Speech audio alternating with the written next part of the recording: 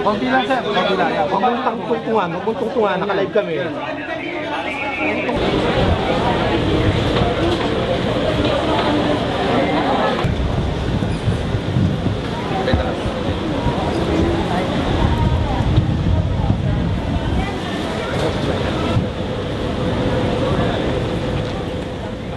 Tapos eh, pag upo nila doon, kinuha yung upuan doon sa may anong yon, ng dalawa bodyguard niya.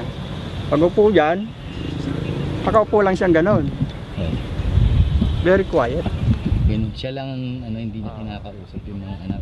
Di ko, di, wala siyang kasamang anak. Ah, Siya lang kagabi. mag-isa at saka yung tatlong bodyguards kagabi. Mga anong oras yun? Pasado alas 6 na yun. Nagtagal siya dyan. Tagal siya dyan.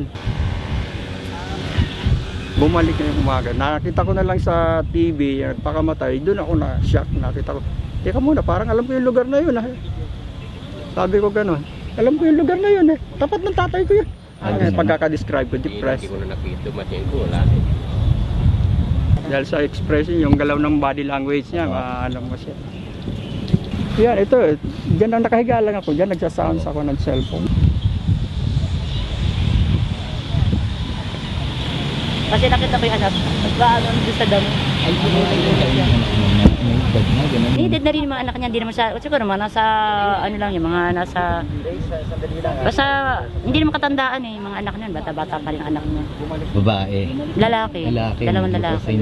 Balit, ang ano sila, baling apat sila. Pang-apat si Angelo Reyes.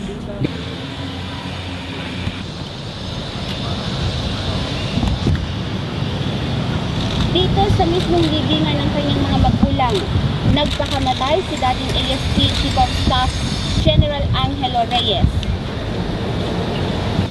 Kita naman yung libingan, no? Hmm, buo yun eh. Save, save body yun.